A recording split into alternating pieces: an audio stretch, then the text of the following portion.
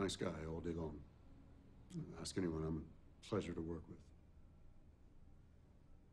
But the second my son screws up, I am yelling at him just like my dad did to me. You hear the words that are coming out of my mouth, and uh, Sorry, I'm late. No cabs. Oh. So get this. I met with this retail banker yesterday.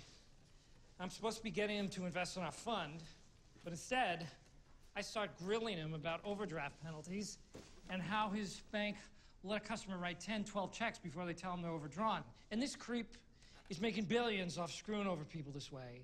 And I'm getting madder and madder. And I ask him, I look him in the face and I say, How can you sleep at night knowing that you are ripping off working people?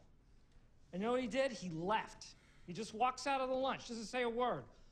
The fuck is that? Who's fucked up in that scenario? Am I or is this douchebag who leaves me hanging?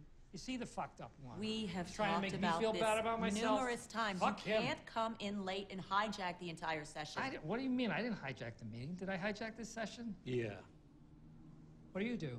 I'm in commodities. Good luck with that.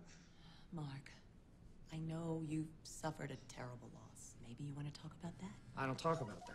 Hold on. Hold on. Shit. I have to take this. Sorry. Sorry. No, I don't care, Porter. This guy's whole business is built on ripping people off. How long can that last?